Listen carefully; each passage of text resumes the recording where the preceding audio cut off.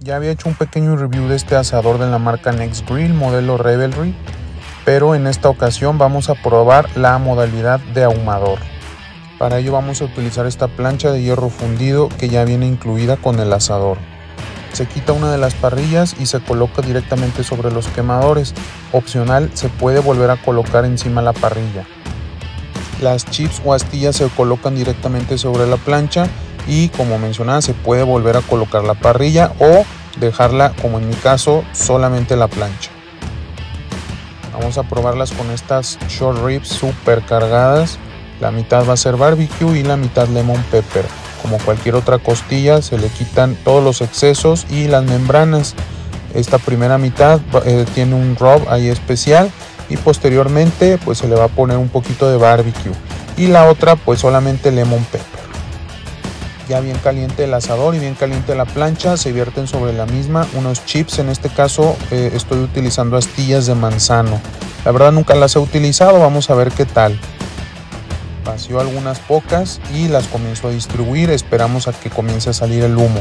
Aproximadamente empezó a salir después de los primeros 10 minutos, pero para que saliera ya una cantidad un poquito generosa tardó alrededor de 15 minutos colocamos en la pequeña parrilla superior que tiene el asador. Está la opción de volver a colocar encima de las chips la parrilla principal, pero se genera demasiado calor. Pienso que aquí arriba está muy bien.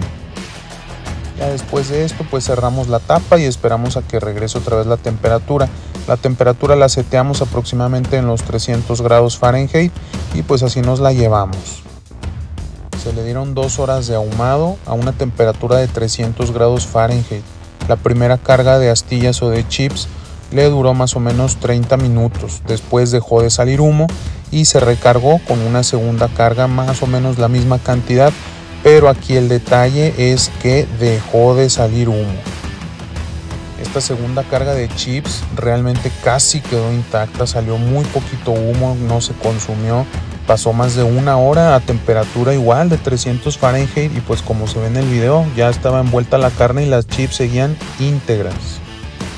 La suavidad y el sabor de la carne pues estuvo excelente, pero pues fue principalmente pues al tipo de rub que se utilizó, a la barbecue, pues a que estuvo 4 horas ahí de cocción lenta, entonces pues realmente estuvo muy suave, muy rico, pero pues sí nos quedó a deber bastante el sabor ahumado que pues bueno, finalmente para eso es esta plancha, una de las funciones que tiene pues es para ahumar.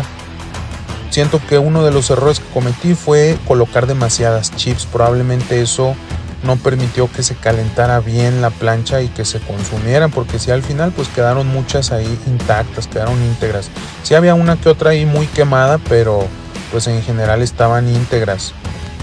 Probablemente la siguiente vez que, que vuelva a ser estas costillitas ahumadas, vaya agregando de poquitas en poquitas y conforme se vayan consumiendo, pues ir retirando ahí lo, quemadito. Repito, no me convenció de todo el sabor ahumado que agarraron.